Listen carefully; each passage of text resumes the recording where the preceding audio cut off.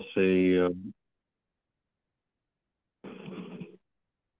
I'll say welcome to the Land Use Subcommittee of the Conservation Commission on November 5th. And we're starting a little late, 1219. Sorry, we had technical difficulties. And we have an agenda uh, that's been published that has a number of items on it, which we're going to try to go through. We're going to run till 1.30. The first item was our dog policy uh, in consideration of commission comments. And I'm going to ask Erin if she can bring that up. Otherwise, I'll go find it. And also, I'll say that number two was condition 19, and item three was condition 20 of those rules. And uh, the entire set of rules was was revised. So we'll go through all of it, I hope. And thank you, by the way, to uh, Michelle. You got on this like Monday at pretty close to eight o'clock. Bruce looked at it. All your comments are in there. Thank you very much for that. And sorry for the misspellings.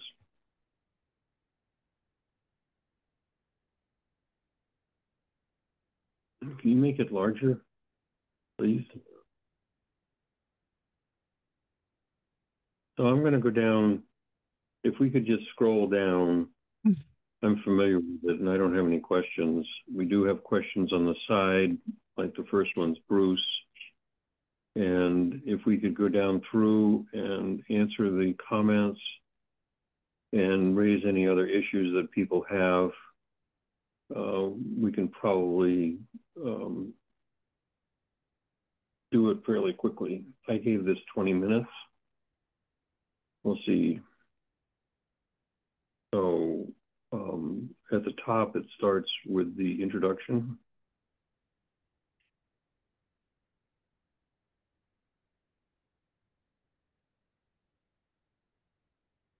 And Bruce had a question there. He has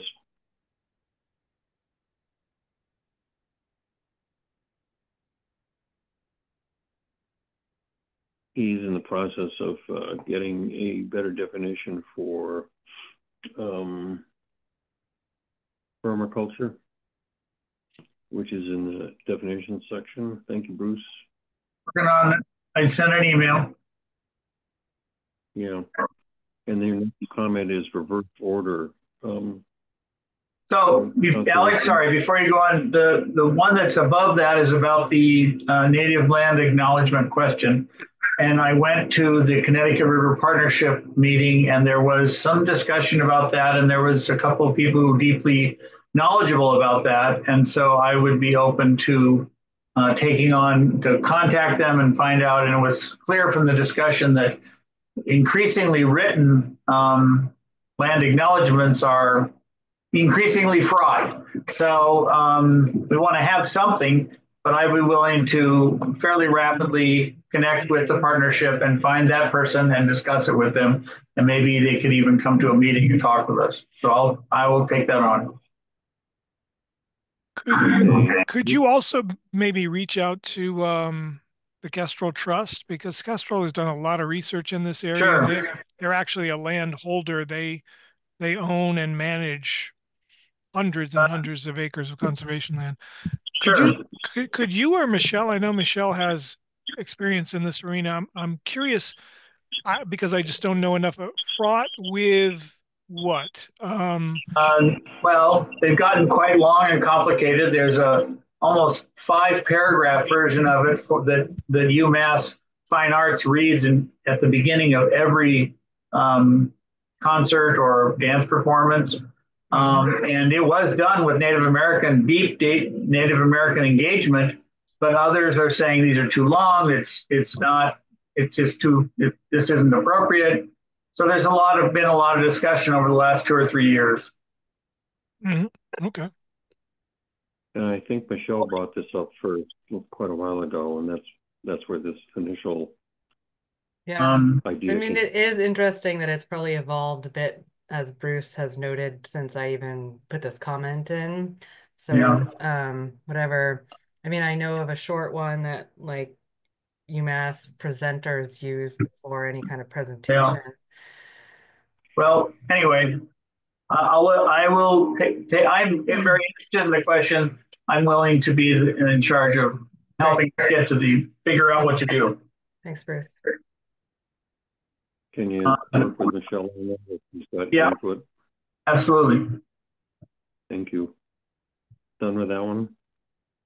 Uh, I just thought vote values should come before functions. It doesn't really matter to me. I'm fine with that. Doesn't make any difference to me. Functions and values is the way I usually see it. so That's how I wrote it. Um, or maybe somebody else wrote that. I can't put my finger on it to see who wrote it. Erin, Erin can do that.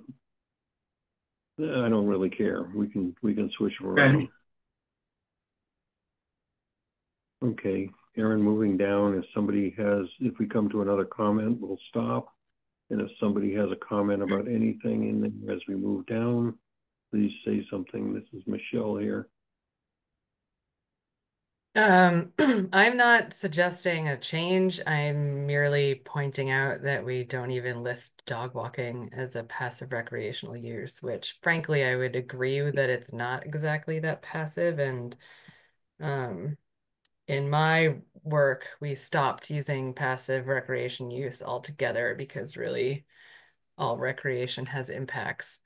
Um, but we're listing all of these very human-centric things, whereas um, I think Dave's noted that one of the primary uses of the conservation lands is places for people to walk their dogs. So um, I don't know if it's, it's obviously not intentional. I'm just wondering, do we acknowledge that that's a passive recreational use that is um, acknowledged by the Conservation Commission.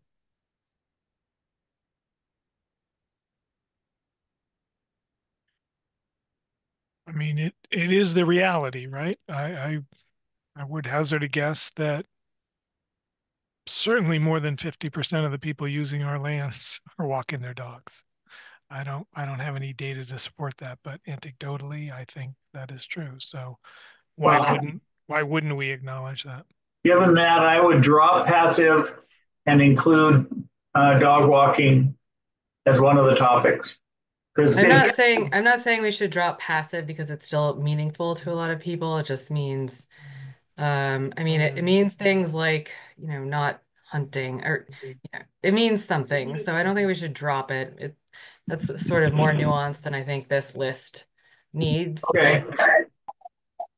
Well, I think we should include dog walking, and it gets addressed a lot later on. So yeah, Maybe on like leashed dog walking. There we go. Hmm.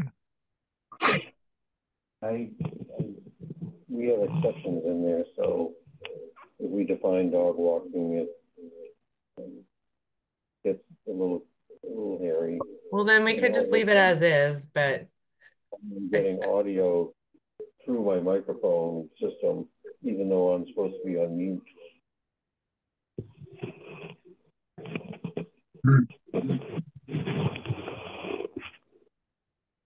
Um, it occurs to me that you don't buy or acquire land for the purpose of providing canoeing, cross-country skiing, or any of these. They are ancillary to the acquisition of conservation land. The, they are permitted, allowed. And you guys getting an echo? Yeah, but it's okay. I can't hear you now. Yeah, I can't hear you either, Alex. Can you now? Yeah. Yes. Yes. Much clearer. Um, so there are ancillary uses. Um, we certainly spend money building trails to allow for them. I just go with whatever Dave thinks is right.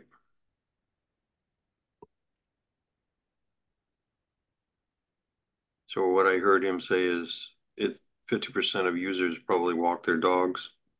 And I heard Bruce say eliminate passive and put in walking dogs.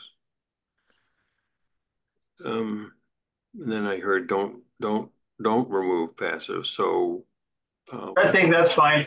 I think we should include dog, dog leashed dog walking. Mhm. I'm fine with that.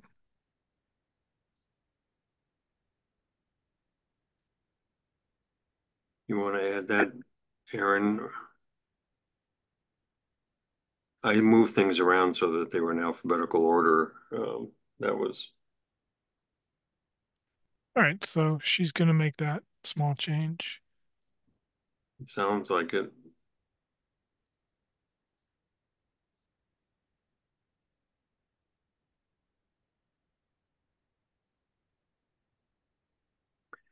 Okay, moving along.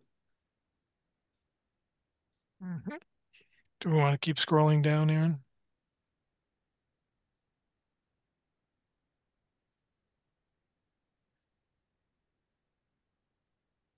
So I looked into um, commercial use. Can you go up a little bit?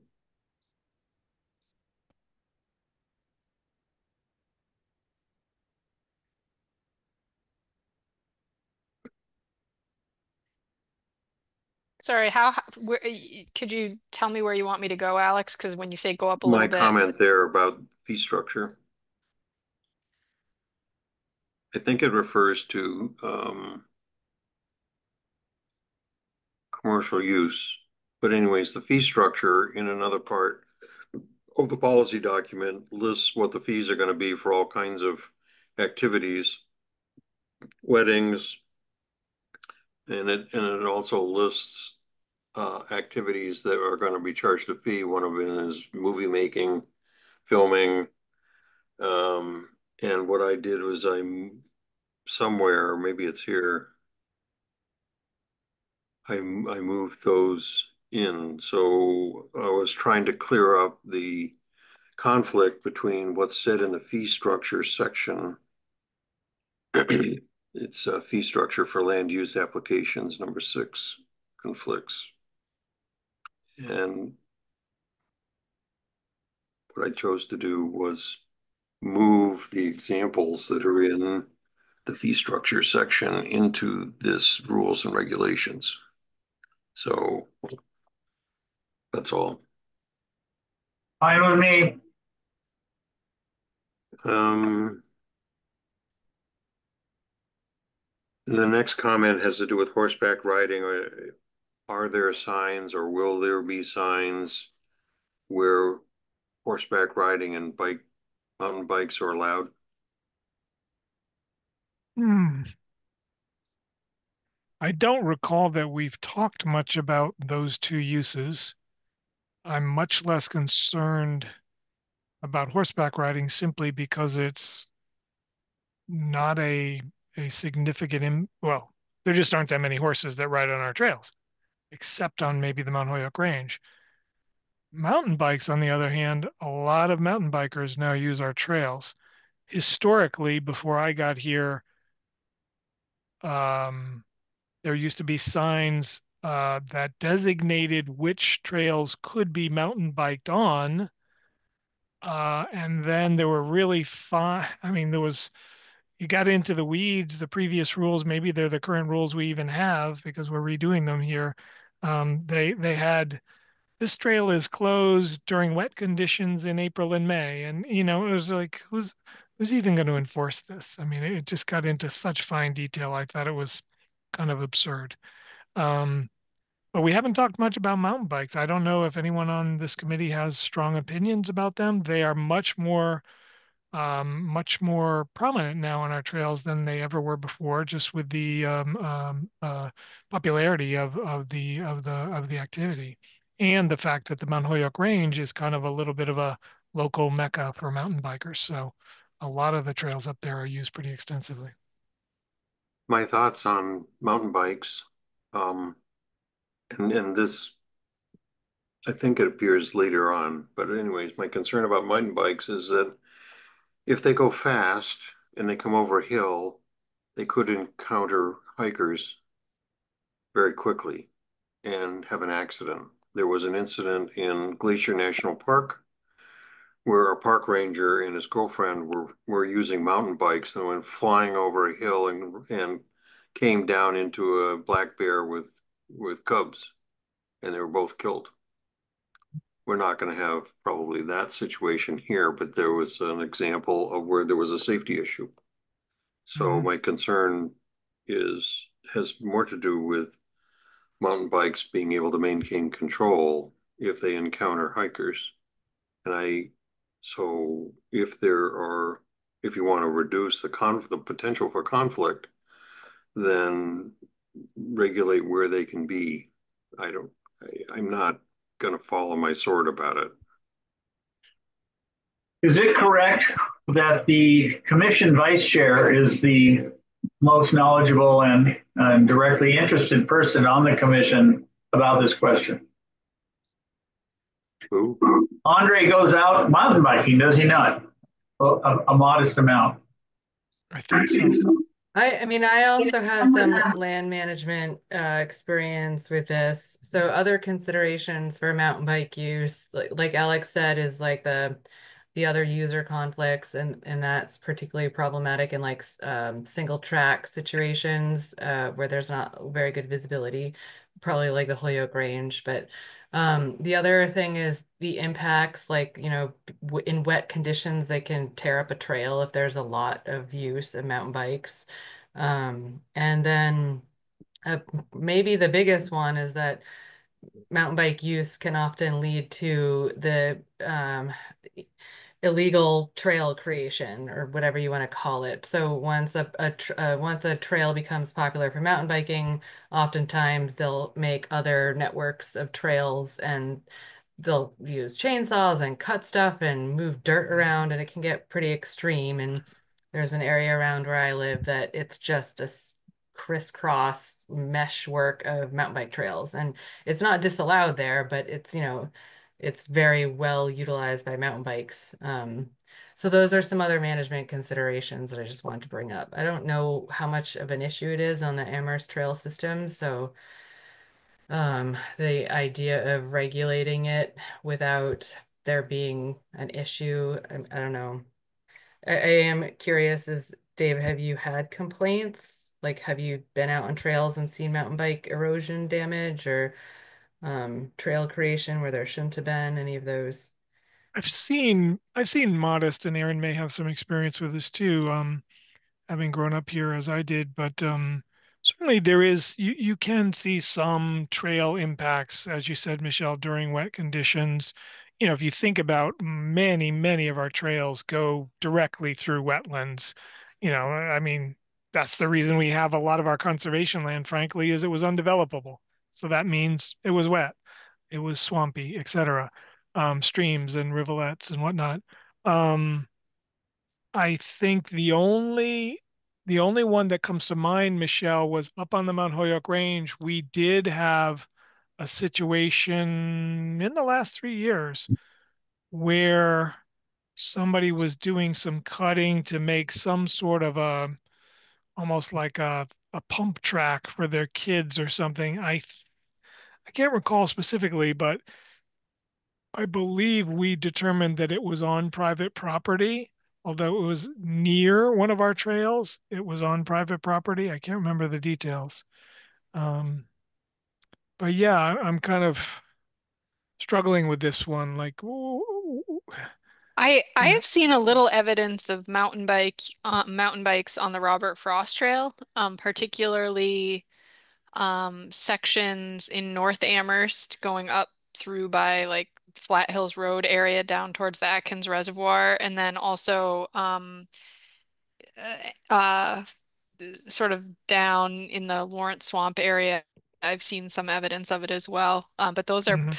probably the only places where I've seen it, and and I have seen evidence in those locations that it's it's damaging the trail in terms of um, you know, causing uh usually it's going through puddles and they're instead of going through like the center of a puddle, they'll go around the side and then it widens out the trail disturbance. Um, in those wet spots, the trail ends up getting really wide as a result.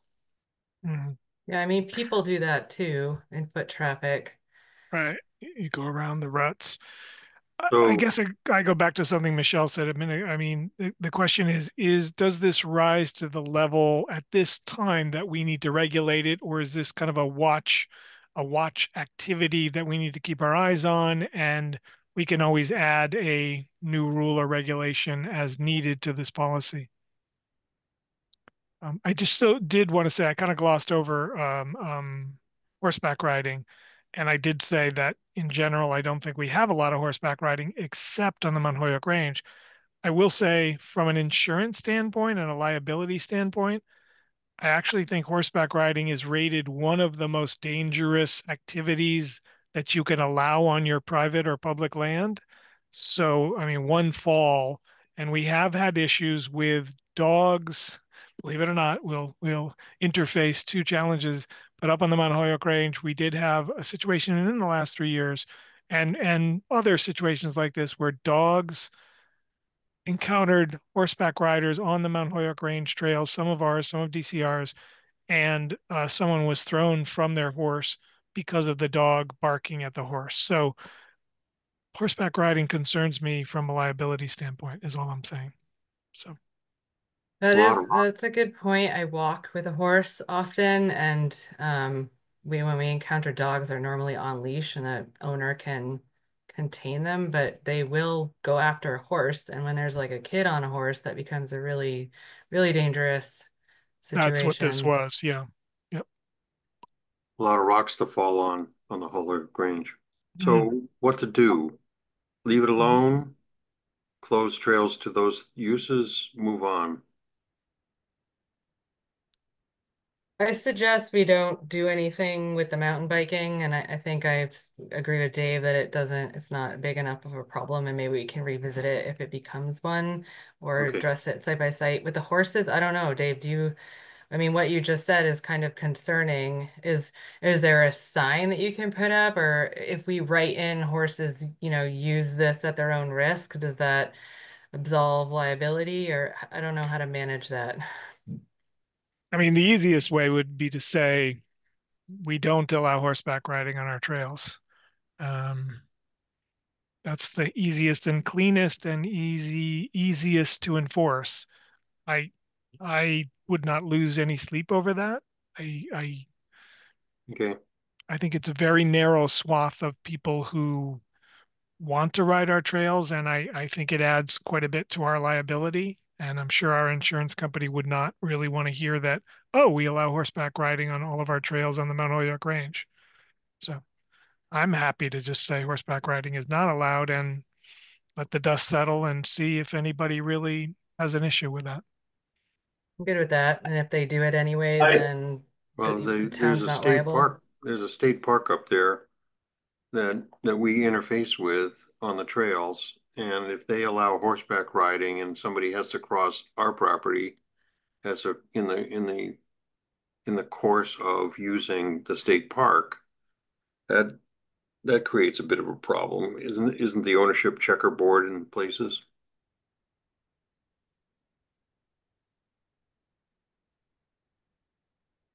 That's a question for Dave. Dave is frozen to me. Yeah, he looks frozen to me too. Yeah, I mean, if what I know there are locations on Bay Road where there are trails um, that you can connect from Bay Road up to state property. I'm not sure that that nes necessitates the town taking on the liability of allowing, um, you know, passing through with horses. Um, I don't have an opinion one way or another, just trying to walk through it. If we say there, it's not allowed, and then someone decides to use the crossing point at their own risk, then they, they make that decision for themselves. Yeah.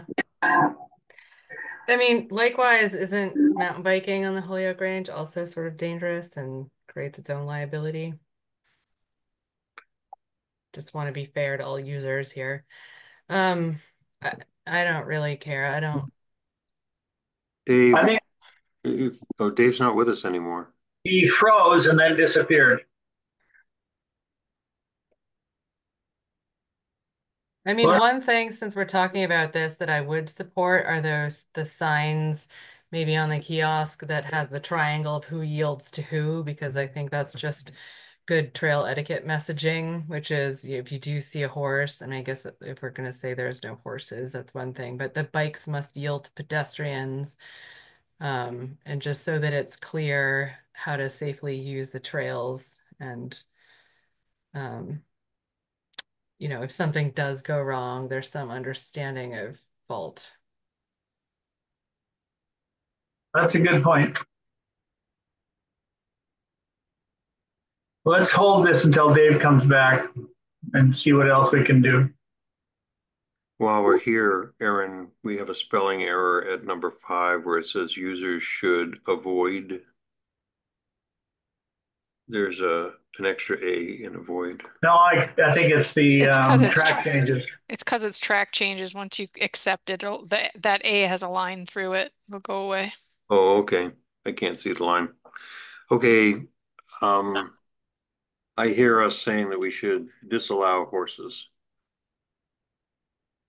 Makes me a little sad, but I mean, what if we said uh, horse horse users tra users use trail at own risk?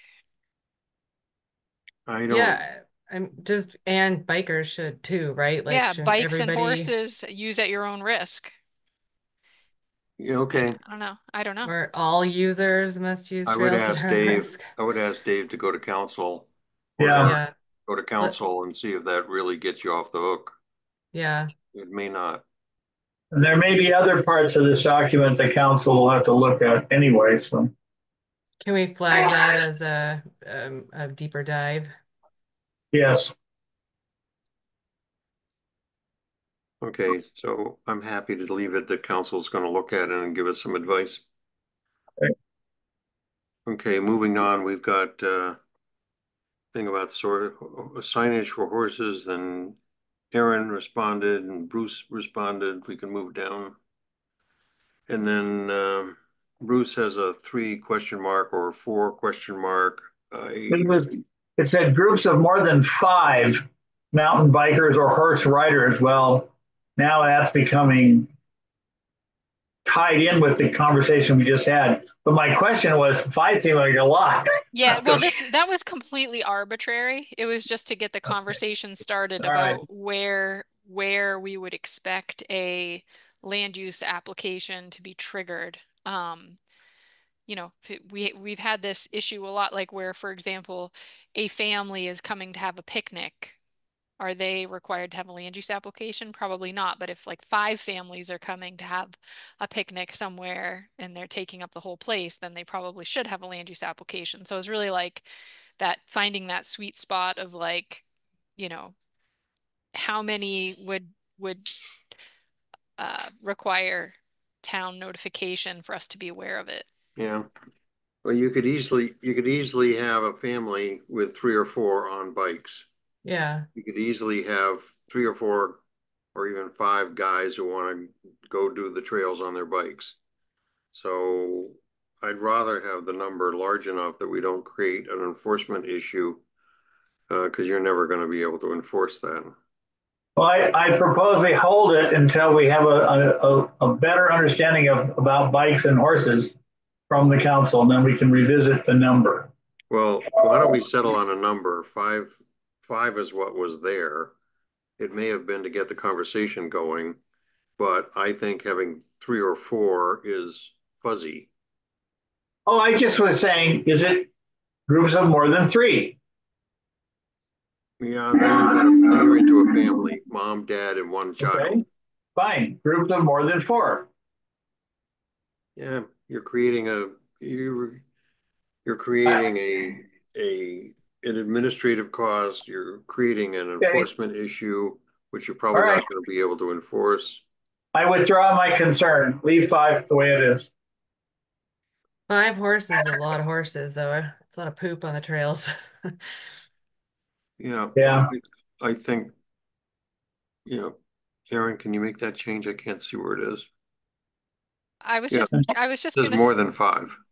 Okay, Uh, moving on. I was I was just gonna say if it's okay, um, we could separate horses and mountain bikes. So, you know, might be groups of more than two horses or more than three horses and groups of more than five Yeah, mountain bikes. m- um, Michelle's comment about, um,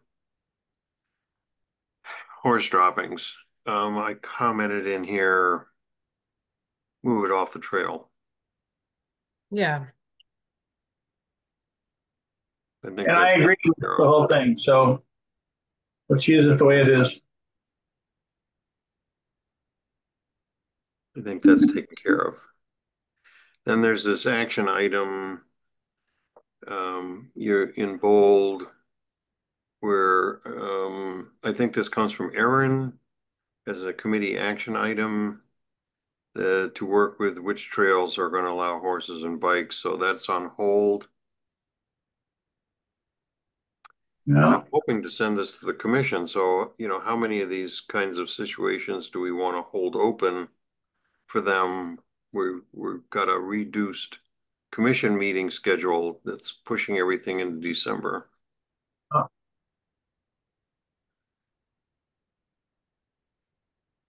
On number sixteen, it was just awkward word reading, I didn't really know how to handle permaculture.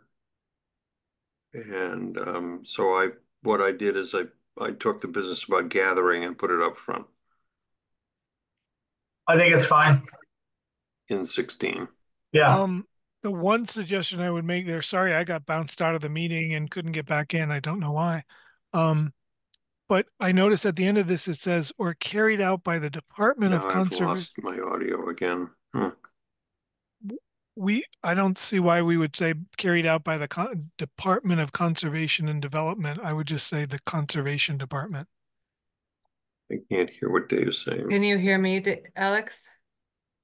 Welcome Alex? to Zoom. Enter your meeting followed by pound. Erin, can you make that change? Yeah, Erin, you can just edit that, right? I mean, there's no need to discussing. Yeah, I'm broaden it. multitasking. Could you guys restate what you just said? I said in sixteen, the last sentence, carried out by the Department of Conservation. We don't need to have the whole functional area in there. It's never referenced like that. It shouldn't be referenced. This is a conservation department, conservation commission, um, um, document. So just- conservation department.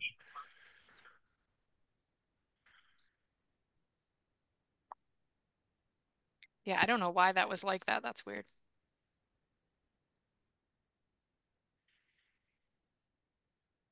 Um, Dave, while Alex is is dialing in, um, Yeah. we were we did pause on horses and bikes. Um, Mhm. my suggestion was that we just say horses and bikes are used at their your own risk on conservation lands. Um, but uh, there's another section about like um, group use of like mountain bikes and horses and what would trigger a land use application. Um, I think if we just put horses and bikes are used at your own risk, it might kind of uh, address both of those issues at once. Um, but Mhm. um, Alex was suggesting that we should check with the town attorney on that. I don't know if you have thoughts to share right now so we can resolve it. Um, just rather than prohibiting saying it's used at your own risk would put the onus on the user. I, I'm fine with that for now. I'm sensitive to the fact that, you know, as Alex has stated, we're, we're trying to move this forward. So let's keep it moving forward and not hold it up on that point. I mean, this is the big lift is all of these things. If there are things we want to tweak in the future, that can be done fairly quickly. Okay, So- well, I'm gonna I'm gonna highlight those and just say use at own risk, and then we'll once Alex is back on once Alex is back online, um, where he can hear, we'll We can't hear you, Alex.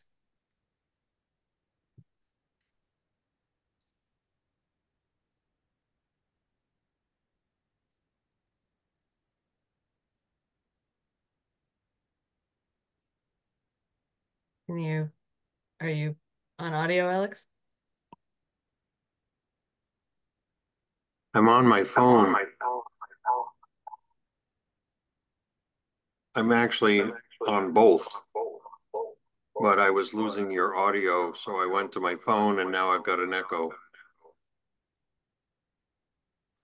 So I'm going to try using my phone. Okay. Um, Um, we only have a couple more minutes. Oh, sorry, Erin, go ahead. Michelle, is Alex, can you add his phone in as an Oh. attendee and we, Yes. because I, I can't do it while I'm sharing my screen. Okay. Alex, you, you should be allowed to talk now with your phone. Can you hear me now? Yep. Yes. So you have, I thought we were going till one thirty. I have to go at in five minutes, but there was just a couple things I wanted to um comment on before I go. Yeah, I hope we can get through dogs, um, which is come right here at number seventeen. There's three paragraphs. Or at least I divided them up so that they're really different subjects.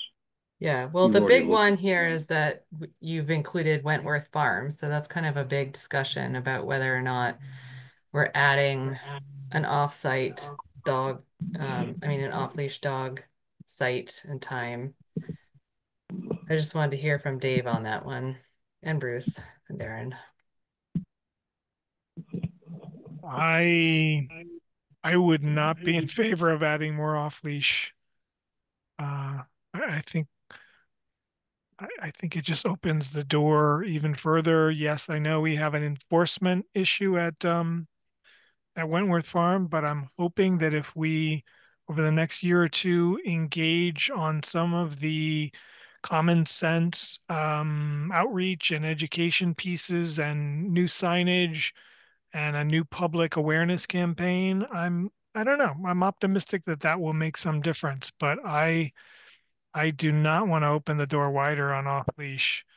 I mean we spent $300000 on a brand new dog park we have 80 miles of trails more than 80 miles of trails that people can walk their dog on leash and we have wentworth farm excuse me we have amethyst brook and lower mill river um, you know, frankly, one of my thoughts over the last couple of weeks is, you know, if you look at Carroll's statistics, Lower Mill River and Mill River Recreation Area, that's where a lot of the negative interactions with with dogs take place. And I get calls frequently that that area is so well used. Why do we even have it as an off leash area?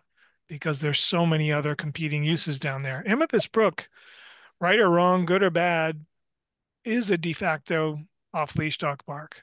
I think that door was open years ago, 25 years ago, and very hard to close it. But I, my recommendation would be not to add another area. I agree with Dave on that one. I think uh, sort of succumbing to the pressure isn't the direction that I, I want to see it go. I'd I rather try some strategies that we've laid out. I went I by also s- Amethyst Brook on uh, Sunday at about ten o'clock in the morning. There was no room in the parking lot. It was absolutely jammed. It was Mm. just full. So we are concentrating dog off-leash dog use in that area and probably in Mill River, hmm which eh, as the numbers grow, with dogs running around, you kind of So and I'm, I'm happy to take out Wentworth Farm. My feeling was that we have an enforcement issue now with people using it. And uh, I said, why does it hurt to meet them halfway? It makes enforcement a lot easier. I, I went to Wentworth Farm one day and everybody I saw had their dog on a leash. Great. And only one data point. But what I was going to say is that uh, I want to go with what Dave is encouraging us to do. Um, Okay, and we've talked enough about it. Let's take it out. all right. And and then Alex, just like as from the land management perspective, concentrating the use at those two places is probably a good strategy. So to lighten it up other places and focus it on some um like save some impacts from other sensitive places like Wentworth.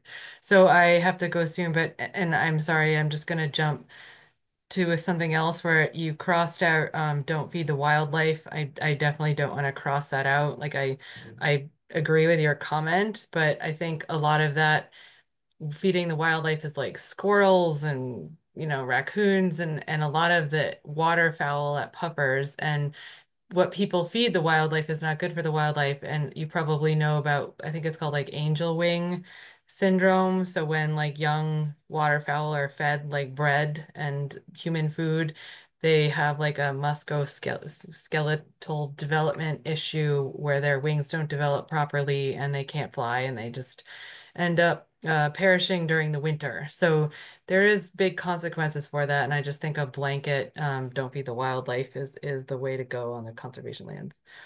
So those were the only two Mm-hmm. items that I wanted to. Where, Well, if the little was kid that? wants us, if the little kid wants to feed the chickadees, they're gonna do it anyway, so. Sure, but but there should be a don't feed the wildlife sign at, you know, and there just should be the policy there. And if some kid feeds the chickadees, it happens, you know, Yeah. but I, I changed my view then. I agree with Michelle.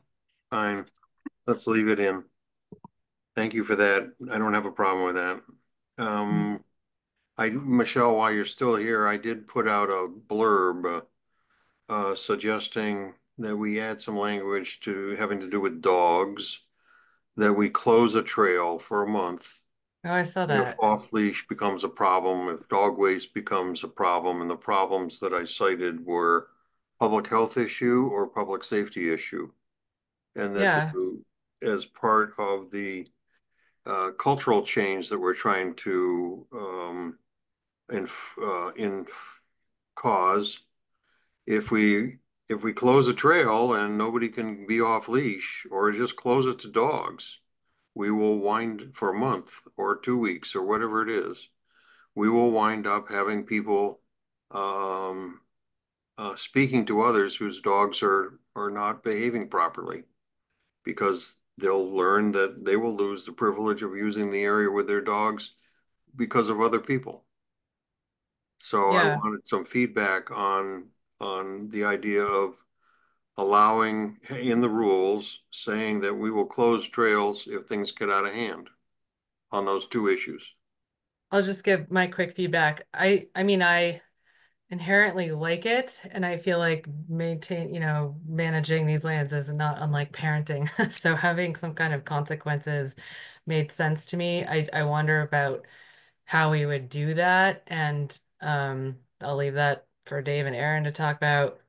Um, but one thing I just want to comment on that I've heard from dog users, especially at Amethyst, is that people are now even reluctant to report issues because they are worried about losing privilege, so of dog walking or that it will become a problem. So I- Mhm. I'm not saying that that should ward us from doing anything. I'm just sort of pointing out I, I don't even know what that would do, if it would make it less safe or whatever. But I, I like the idea of people taking responsibility for the privilege that they have. It's kind of like driving, where it's not a right, it's a privilege that we're making this exception to the town bylaw. So, I mean, I'm in favor of it if it's realistic. I just, um, you know, at some point we'd have to say, okay, there is a problem. It reached some threshold. What's the threshold? And how are we going to enforce the closure? So, I mean, it, I'm open to I- it. It's interesting. can I respond real quickly before, Yeah. while you're here? Uh, I think the, the, the most likely is dog waste. Whether it's bagged and left on the trail. I was in Minuteman National Park yesterday. And I, doing something else, and I asked them, do you have problems with dog off leash and dog waste? And I hit a button. I got a two and a half minute rendition of I wish there was no dogs allowed in Minuteman National Park. And once somebody puts down a green bag with poop in it, everybody else thinks that's the place to put them, and somehow the Park Service is gonna come along and pick them up. And the Park Service does not put out receptacles because they don't want to have to empty them. So I think dog waste will probably be one of the triggers because you can walk along and and look at it. And in terms of how do you enforce it, I see a sign with hinges. So you have a horizontal sign that um, when it's and it's in two pieces on a hinge and they both flip down and it says dog off leash 10 to dawn to 10 and then it says something else um, the trail will be closed if if waste is a problem or something like that so all of a sudden waste is a problem, you just take that sign on the hinge and fold it up. And, and the back side says trail closed to dogs. I'm sure that'll be ripped off immediately. I agree, but I, I think we need to set the policy and let the conservation department do its job to implement it. Well, in the course of writing, I think as, as Erin, I mean, as Michelle said, okay, how do you do this? So it's a natural question to ask if, as one writes, it is the is um, Erin and, and Dave's job to figure out how to do it, but there's an idea. Yeah, I mean, I, I guess like, you know, as with parenting, if you make a threat, you have to follow through on it or else, you know, your bluff is called. So how realistic is it that we would be able to follow through on this and how much poop? I don't, I don't know, but my, my gut is if there's no consequences, let's not ever talk about this again. I I think it's fine to leave. I, I think I can't quite envision things getting to that point of closing a trail, but frankly, Amethyst Brook, we could close it this afternoon if you wanted to. What we do is we just close off the parking lot. If you can't park, you won't go. 90% of the people won't go there.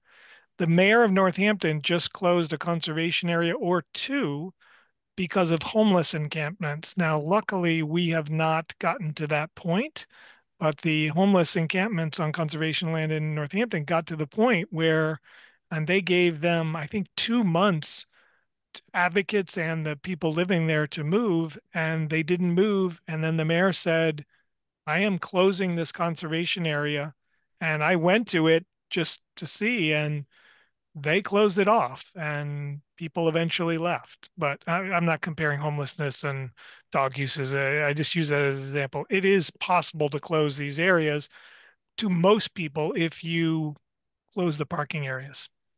That will yeah, that didn't occur to me. Good create point, a pretty major major impediment to being at Amethyst Brook. You can always get to it from other places and other streets, and some people in the neighborhood will just walk there, but most of the people will be not going there and pretty ticked off. But anyway, it's possible to close. It I would mean, be we- nice, if we closed it, it would be nice for people to know why Mm, and for for how sure. long. You know, Yeah. maybe you put that on the town website, I don't know. Oh yeah, if we closed any trail or any conservation area, we would have to justify why we're doing it. And I would So- just, I would just point to the commission and give them Michelle's uh, cell phone number, and I would go on vacation. I'd go on My- sabbatical for a My couple. home address. and Erin would be on sabbatical, and you know, we'd let you all handle it. Uh, yeah, there is So- the risk of the the overflow if you know you shut the gate that they would go elsewhere. Yeah, That'll Um, happen.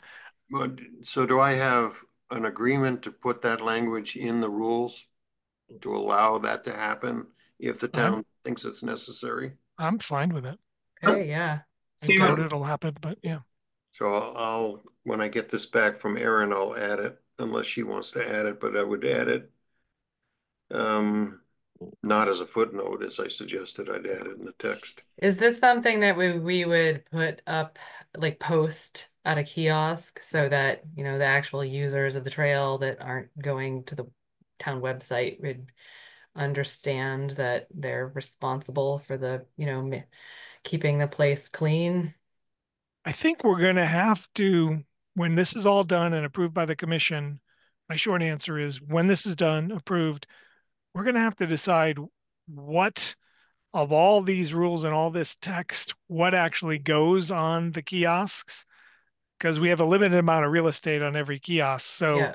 can we fit? How much verbiage can we fit? And what are the priority things to put on that kiosk? We also don't want it to appear like everything is a no, don't do this. If you do this, you will be, you know, da da da da da. So some of these may be symbols, you know, like whatever, dog poop with a slash through it or whatever. So we've got to work with our sign designer on that. But to your question, Michelle, there would be links and or QR codes on every um, kiosk that would take people to a more extensive explanation and narrative on each conservation layer area, including maybe you know more of your your policy documents. So uh, we, we've yet to figure that out. Let's get to the document you all are comfortable with, and then we'll kind of translate to that to what goes on the kiosk. Sure. Can I just say one more thing uh, Sure. regarding that? And I gotta go. Um, I guess what I really like about what Alex drafted there is that it gets the point of the off-leash dog walking is a privilege and not a right on the conservation lands, and that like driving, you need to follow the rules to maintain your privilege, and you know have people take some community and personal responsibility for um, everybody else following the rules and um, picking up trash. And so just sort of that sense of responsibility for your community privilege of the off-leash dog walking. And so having that phrased in some way that um, is is like a positive message about take care of this and your and your privilege because you know it is a privilege and it can be revoked. I think that's a good part of the overall message that we're trying to get through to people. Okay, well, thank you. Very interesting discussion. I'm sorry to leave, but um, I'll talk to you guys next week. Okay. Bye. Thanks, Michelle. I'm- In the time that remains, um, I'd like to move down here. I think we're gonna get to hunting pretty soon. And, uh, let's see how far we are. Bruce thought that the list of at some point he, oh, wanted to put links in an, in an appendix.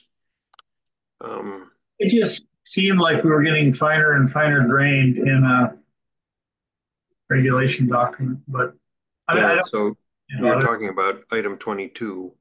yes, Hunting. And, um, I, I was just drafting and I stuck them there. okay.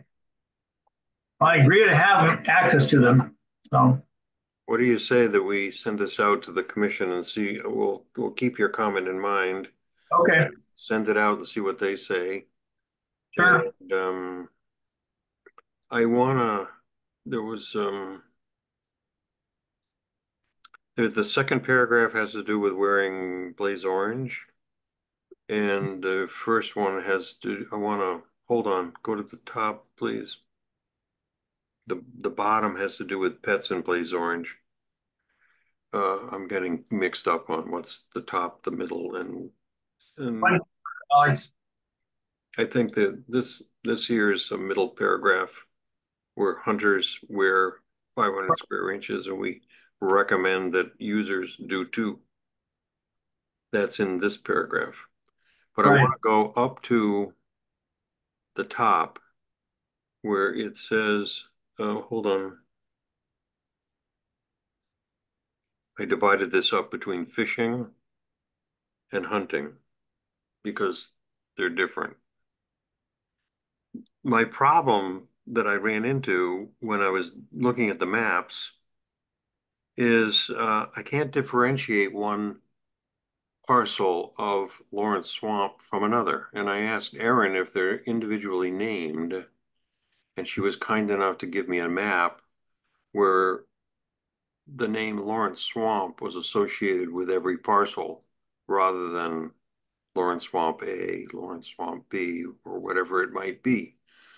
So there's no way for me to uh, identify the parcel that doesn't have much of a buffer in it. In, in, if we, if the criteria was, we're gonna not allow hunting with shotguns and, and primitive firearms in conservation lands that, that have or overlaid a great deal by the buffer that part of, of the parcels in Lawrence Swamp have a lot of buffer coverage. And perhaps one or two parcels do not. But I can't identify those because they're not, there's no sub name, there's no individual names. So what I have here is a complete elimination of uh, shotgun and uh, primitive firearm hunting. And that's the reason, because I couldn't, I couldn't name the Lawrence Swamp parcels that don't have much of a buffer. And Hmm. just a just a another kind of piece of information there.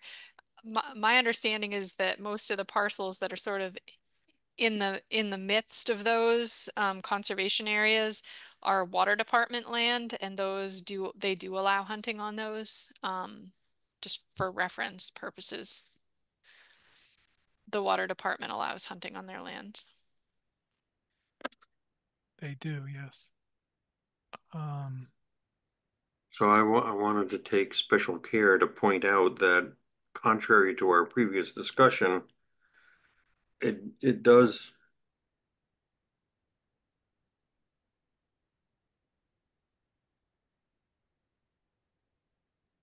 I looked at the maps too, and I, I had the same problem Alex did.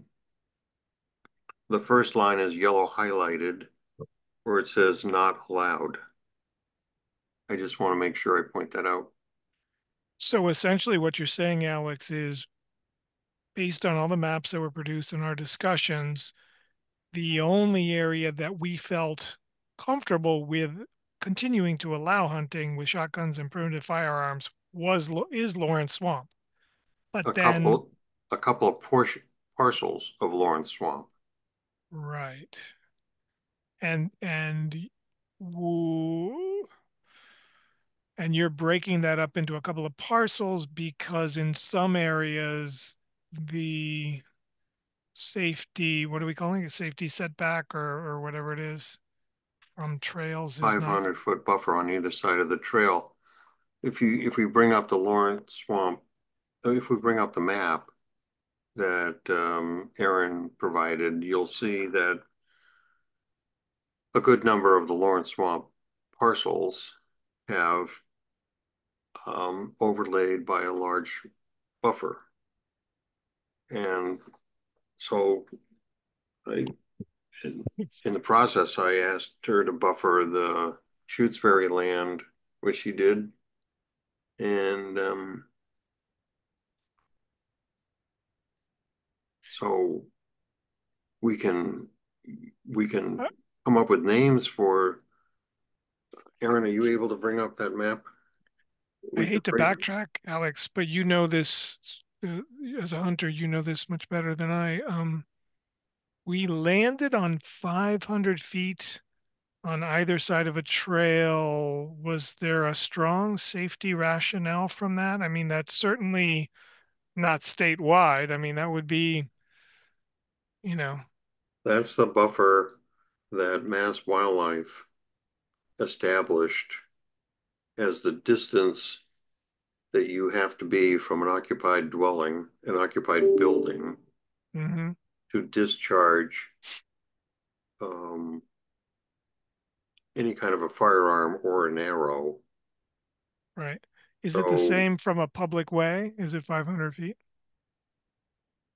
from a roadway? Well, on our chart it is.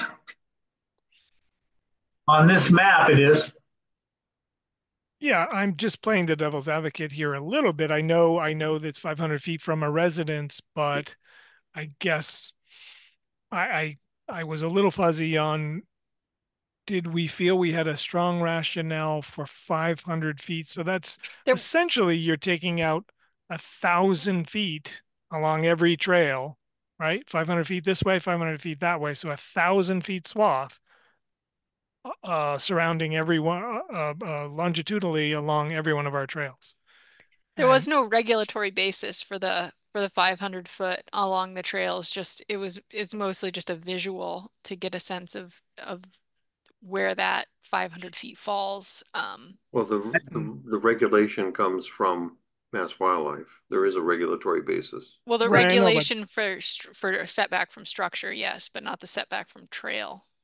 No, there You- isn't, there isn't, there is no set, there's no regulatory setback from trails. The setback is from paved roads Right, and occupied dwelling, occupied Right. buildings. right.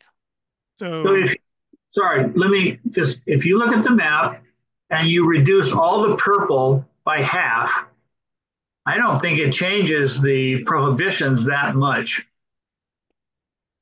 Yeah, and Erin, you've got, oh, you'd have to blow it up so people can see where Lawrence Swamp is. That's all those ones in the bottom there. But I, I think that even if you cut it by half, it doesn't change very much.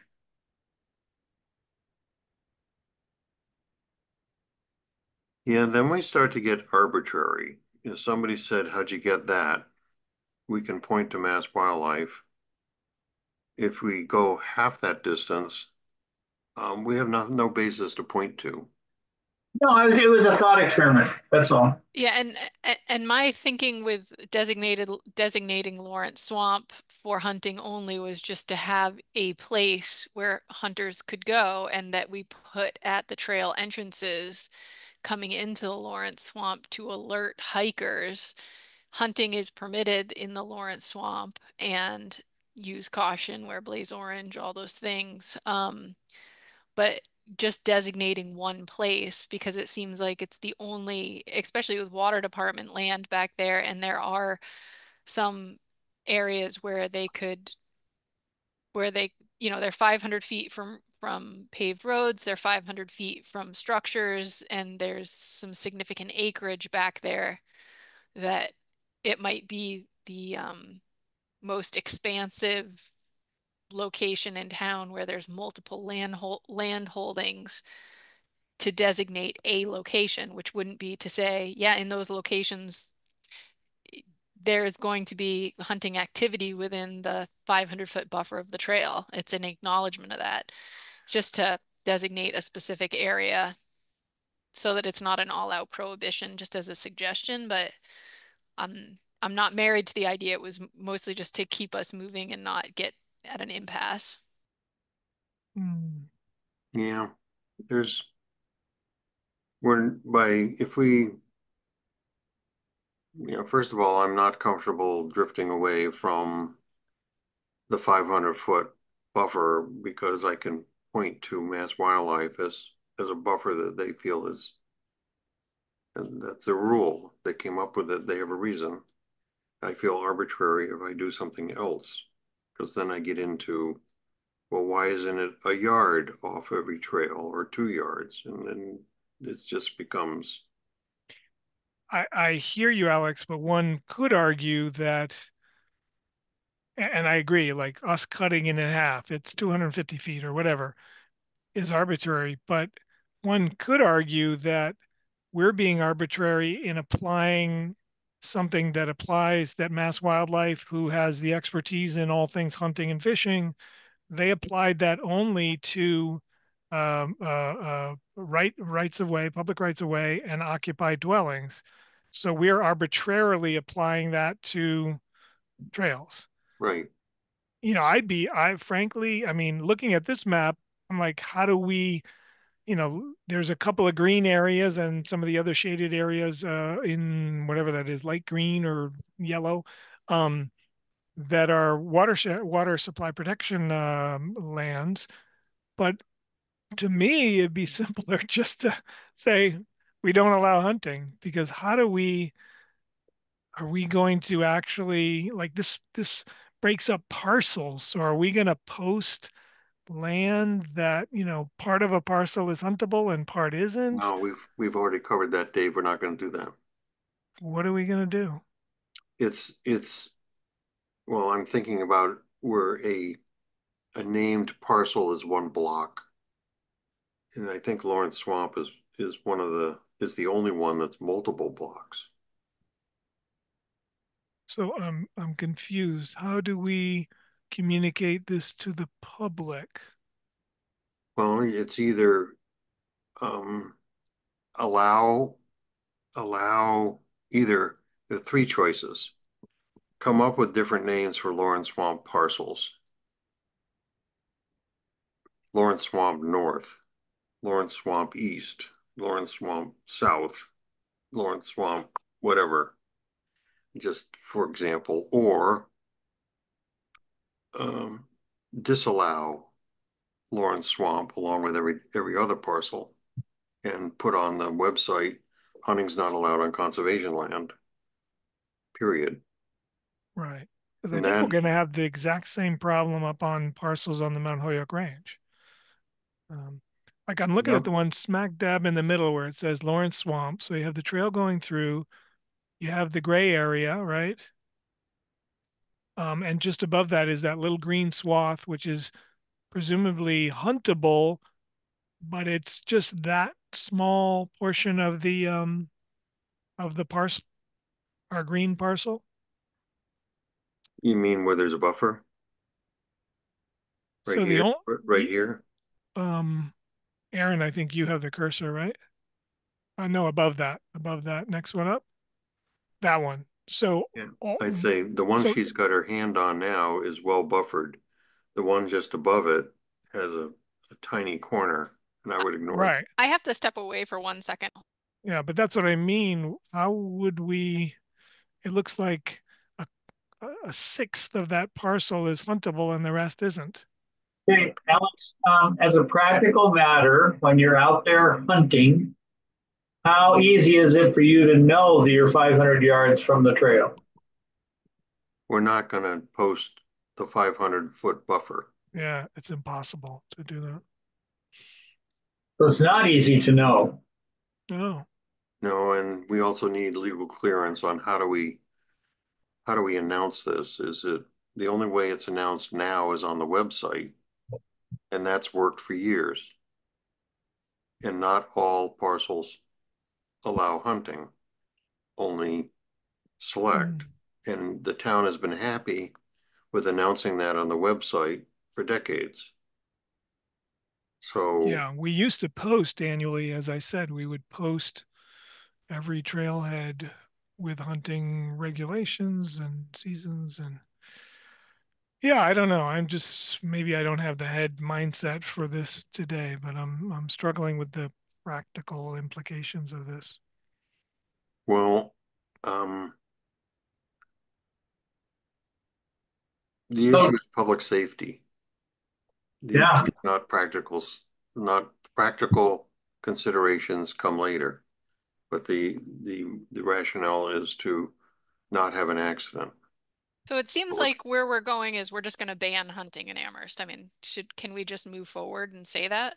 I mean, That's what, it- that's the way it's written right now because I couldn't break out Lawrence Swamp.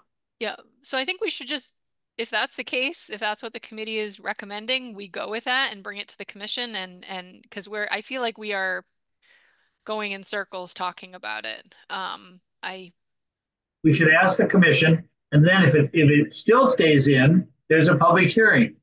And if significant numbers of hunters want to come and complain about it, they will. And then we can discuss what to do about that. Mhm. That's January, February, March, no, after Yeah. December. Yeah, that's fine. That's fine. I think I I think wanted to get The rest of it, Yeah. if we can go back to the document, I wanted to make sure this got airtime. Erin is right, though. If we're moving in that direction for what you say, Alex, which is public safety, then fine. Um, we will Yeah, have so- to, pre- we will have to prepare because I think I can predict there will be some sort of a backlash.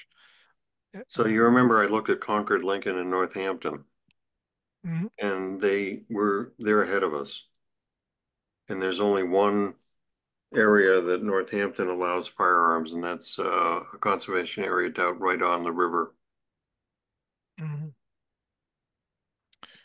That's fine. I have no, no. So horse in moving this down, race. what do we got? Um, Erin. We're coming up on one thirty and I want to talk about um this going to the commission at its next meeting. And there's a, there's a, there's the issue of bow hunting. And I don't think there's many people that hunt birds with bows. Some people hunt turkeys with bows. But I really don't think somebody's gonna try and take a pheasant out of the air with an arrow. Um, it's because I was worried a bit. It says archery will be allowed on all units. So we're not disallowing archery. Why aren't we? Um, we'll wait to see what comments come back. So hunting with archery is not gonna change one iota.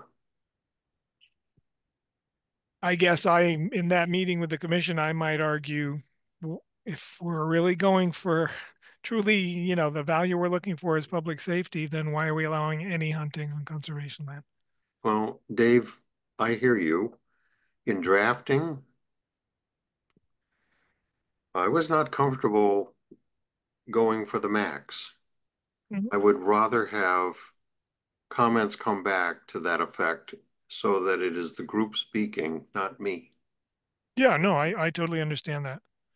Um, I think where we're going to have to be more solid is if I think a lot of people will actually be very enthusiastic about this and very supportive. I think I think many many users in Amherst will be like, ah, this is great.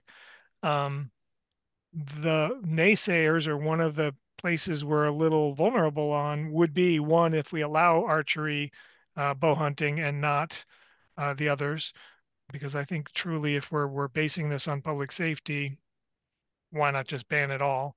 And then two, when people say, what are your statistics for, you know, what incidents have happened on Amherst conservation land that you are basing this on? We are shrugging our shoulders because we don't Why have do any. we, my answer would be, why do we have to wait for there to be somebody to be hurt? Agree with Alex. And you could look at statistics in all the other towns of the valley and see what you came up with, because what's the difference just because you cross a town line? I I don't know for sure, but I'm again, I'm not advocating for hunting. It it would be much simpler for me and the department to just ban it all. Um, but I'm just saying we don't have a lot of data to support this, Yeah, and I bet other towns don't either. Because well, when I'm up on the firing range on the Holyoke, on the whole, the, the gun range, shooting skeet with my friends, they're all hunters. And if I talk to them about closing hunting on conservation land, they'd all turn their back on me and not talk to me anymore. yeah, So, you know, I, it's not, there's a lot of purple. Yeah. No, I get it. I get it. I'm gonna So need, I just also- wanted to make sure that got plenty of airing because I would like this document, if you all will agree to, for this to be loaded for, after we get done with the comments, um, is, is to accept all changes and get rid of all comments and put it in the, on the, on the website for the commission to review and comment on. And see what they have to say and move this along. I agree to sending it to the commissioners and just say, there's two or three points we're still not sure of, but we need you to read. this. I gotta go. Okay. Okay. Erin, Good your, your picture is on there and you have such a nice smile. I had to laugh when I first got on because that's the first thing I saw. Um, I don't know if you guys can see, you know, you can see the picture of her. Well, she, you know, she left to go deal with her sick child, so she may not hear what Oh you're no, saying. I'm here. I'm back. All right, Yeah, there Really? was. sorry, I gotta go. All right, I think Okay. we all do. So we All right. didn't cover our next agenda, but I'll just pick up where we left off and create one for Erin. Yeah, Sounds just good. send me the agenda items and also Alex, if you could send me the items that are um going to be on the upcoming agenda because I'm getting ready to post it. Um, the things you want to bring to vote and the things you want to have for review. Yeah. So I'm not, the memo that I sent out, I want to give Dave time to look at that if he could, uh, in his, when he finds a moment, read through it. And, um, but not wait till the next meeting of the, of the subcommittee. What's Mhm. wrong, Jack? Come on in. Oh, All right, sorry. I think we all got to go, but thank you Bye-bye. all. Thank you very much. Thanks, Erin. Okay, thank you. Bye.